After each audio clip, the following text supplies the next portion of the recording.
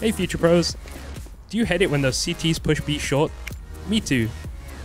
That's why we have a molly for you today that will stop that exact scenario. First things first, buy a molly. Then line up with the middle of this wall. Aim halfway up on the right side of this radio tower.